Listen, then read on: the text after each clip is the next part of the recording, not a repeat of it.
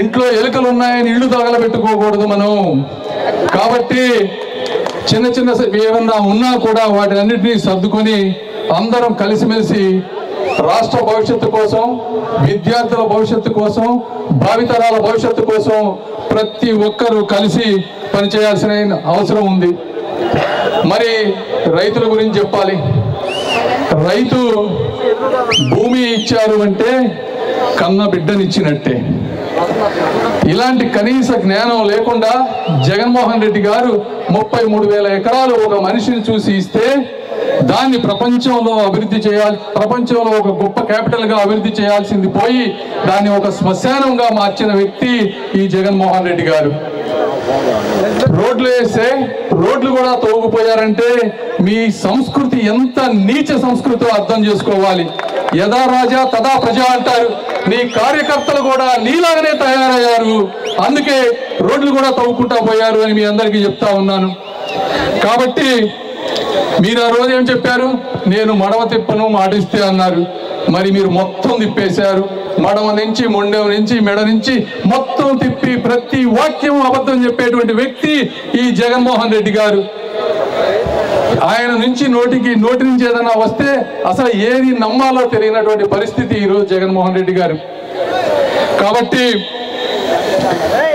ఇంత భూమిని ఇచ్చినప్పుడు మీరు రైతులకు ఇచ్చినటువంటి బహుమానం ఏమిటి? లాఠీ దెబ్బలు బూట్ల కాళ్ళతో తన్నులు కటకటాలు. అయినప్పటికీ వీర మహిళలు పదిహేను వందల రోజులుగా పోరాడుతున్నారు. జగన్మోహన్ రెడ్డి గారు మీరు చూడండి ఇది ఒక గ్రామం. ఈ గ్రామంలో ఉన్నటువంటి ఉత్సాహం చూస్తే మీకు త్వరలో జరగబోయేటువంటి విషయం పూర్తిగా అర్థమవుతుంది అని మీకు చెప్తా ఉన్నాను. Sir hats off your speech hats off your speech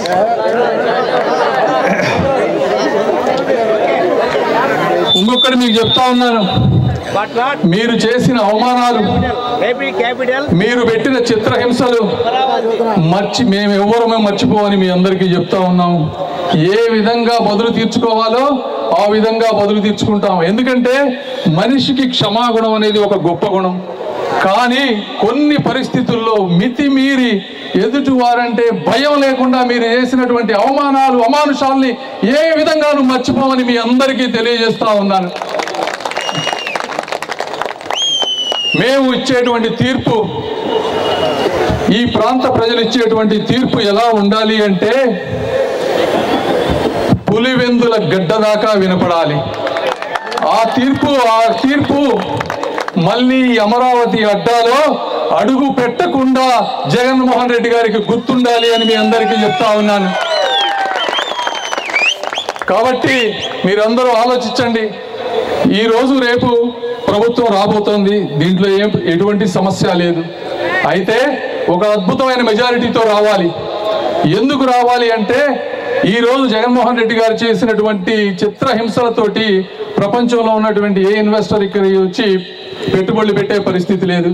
మళ్ళీ పొరపాటున ఐదు పది పదిహేను సంవత్సరాల్లో ఆయన వస్తాడంటే మేము ఎంత కష్టపడినా ఎన్ని ఊర్లు తిరిగినా చాలా కష్టం. కాబట్టి మీరు ఇచ్చేటువంటి తీర్పు ఎలా ఉండాలి అంటే ఇక చరిత్రలో జగన్మోహన్ రెడ్డి గారిని ఇక్కడి ప్రజలు నమ్మరు అనేటువంటి తీర్పు ఇచ్చినప్పుడు మాత్రమే మా పని చాలా సులువవుతుంది.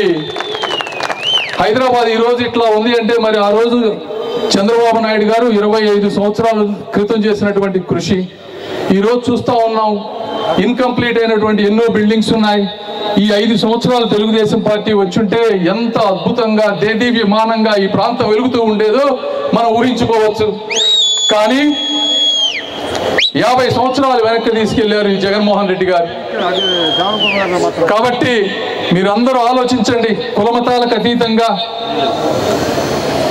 ఎప్పుడు ఇలాంటి ముఖ్యమంత్రికి ఇలాంటి పనులు చేస్తే ఆయన అనుకుంటున్నారు కులమతాల ప్రాతిపదికన మనుషుల్ని విడగొట్టవచ్చని కానీ ఇది చరిత్రలో ఒక మిగిలిపోయేటువంటి తీర్పు కాబోతుందని మీ అందరినీ చూశాక నాకు స్పష్టంగా అనిపిస్తూ ఉంది.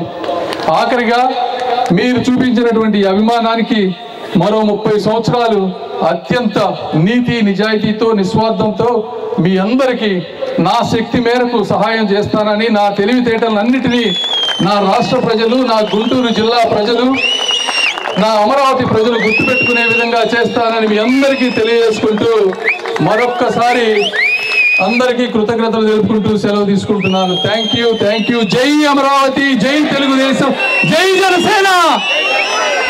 టీడీపీ బీజేపీ జనసేన మిత్రపక్షాల కూటమి తరపున గుంటూరు పార్లమెంట్ సీటుకు పోటీ చేస్తున్న పెమ్మసాని చంద్రశేఖర్ గారికే ఓటు వేద్దాం. మన గుంటూరుని గెలిపించుకుందాం.